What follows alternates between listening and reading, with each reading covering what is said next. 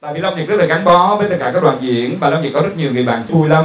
Thì à, à, có hai nữ ca sĩ à, cũng rất là nổi tiếng mà đi lên trên chùa hát mà, mà để lễ lan vừa rồi đó của quý vị. Cái xương lớn thì làm con gái vẫn bự con vậy.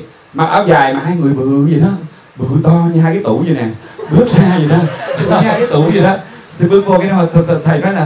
Ủa chứ tụi con hát cái gì? Cái hai đứa này nè dạ thưa thầy tụi con hát xong ca.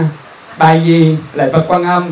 Dưới tòa sen vàng. Cái thầy đấy là mô phật thí chủ ơi chùa có thầy nghèo lắm. Chùa ở vĩnh long mà dưới biển với, với, với, với, với, huyện với xã lượng sân khấu là bằng tre mà đất ở đây là bằng cái cát á. Nên mà cái cọc tre nó cắm xuống vậy sân khấu rất là yếu. Mà hai thứ hai thí chủ bự quá. Về hai thí chủ mà leo lên sân khấu là thầy sập sân khấu. Thì bây giờ hát đơn ca đi cái hai đứa không được nó không? Nhạc uh, nhạc cùng hát lễ vu lan tụi con thuộc con bài lễ và con âm mà thôi bây giờ sao đây khóc quá rồi cái này nói bây giờ vậy.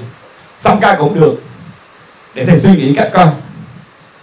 Sao đây? Từ từ từ từ thầy tính. Để thầy tính coi. À rồi. Một đứa là đứng trên sân khấu còn một đứa đứng dưới. Rồi một đứa đứng dưới đi để, để khoảng hai đứa lên sân khấu là phải bị sập sân khấu tại hai đứa nó bự quá to lắm to như cái hai cái tủ lạnh gì nè cái cái cái cái cái, cái bà kia bà nói không con cũng trang điểm cả buổi chiều đẹp vậy làm sao mà bây giờ con con không được lên sân khấu? Cái thằng này tôi bây giờ vậy để cho công bằng. Một đứa nửa bài còn tới cái đoạn mà vào giữa gian đấu á thì bà kia xuống cho bà này leo lên. Mà quý vị biết không cái sân khấu không vậy đây có cái cầu thang vậy thì chờ bà nhỏ kia xuống thì bà này mới leo lên chứ. Hát hết lần một cái bà kia chưa kịp xuống cái bà này nôn quá leo lên.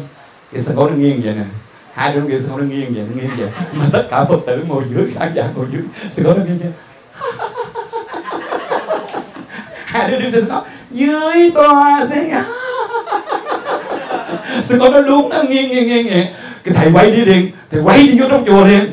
Cái chú tiểu đi, bạch thầy thầy đi đâu vậy? Ta đi vào cầu an cho sư cô khỏi sập. Ta đi vào trong cầu an cho sư cô khỏi sập. Cái thầy vừa chào với cái điều thầy vừa quỳ xuống một cái. Ở ngoài cái làm một cái âm cái chú tiểu chạy vô bạch thầy thầy kêu chuyện gì? Chú tiểu kêu, sân khấu đã sập cái thầy kêu dựa hai cái con ngựa đó, ta đã nói rồi bộ dưới tòa sen vàng. Bạch thầy, sân khấu đã sập cái thầy kêu dựa cảm ơn tất cả các em đã lắng nghe và bây giờ ta tiếp tục chương trình hôm nay hát thì một lát còn thời gian Long Nhật sẽ hát, tại vì bây giờ Long Nhật là người nhà mình rồi thầy hả? Em là người nhà ở đây rồi, muốn hát ngày nào cũng được, đây là của nhà trồng được muốn hát mấy cũng được. Chúc các em thật nhiều sức khỏe, may mắn và tràn đầy năng lượng và tiếp tục thành công và đồng hành với sự khấu đây là ngôi nhà của chúng ta.